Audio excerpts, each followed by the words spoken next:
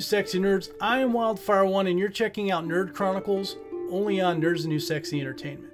Nerd Chronicles is a place where myself and the other crew members can talk about what's going on through their lives and vent on things that they are excited about. We hope to have an episode out every month, but you know how life can be, and we are nerd working nerds. So, what's been going on with me? A whole lot of editing. I've been doing a lot of stuff for the channel. According to the YouTube analytics, I've uploaded and scheduled over 40 videos in two weeks. Speaking of which, you can catch Grizzly McBee playing I Love You, Colonel Sanders, a finger-licking good dating simulator, every Saturday and Sunday. The first episode came out on Valentine's Day and will continue on to the end of February. Of course, the gameplay of Beyond Two Souls will continue until we're done with that. We will also continue our horror gameplays like with Devour recently we, we picked that up. Since Phasmophobia, I've just found out that I'm addicted to horror games and I love it. Uh, you can expect more of that coming out eventually.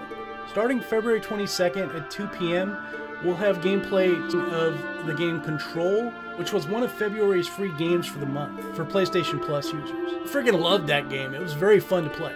Um, and you'll see the gameplay and how much I loved it as we go on with that.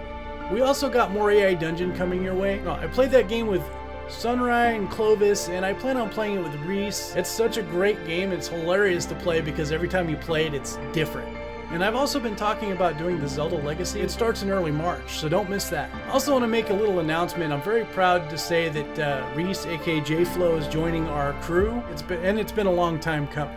Which segues me into the next portion of what I want to talk about. JFlow is streaming on our Facebook page, and we have some plans for streaming. Uh, for Facebook, it's going to be JFlow streaming uh, in random times because of his schedule.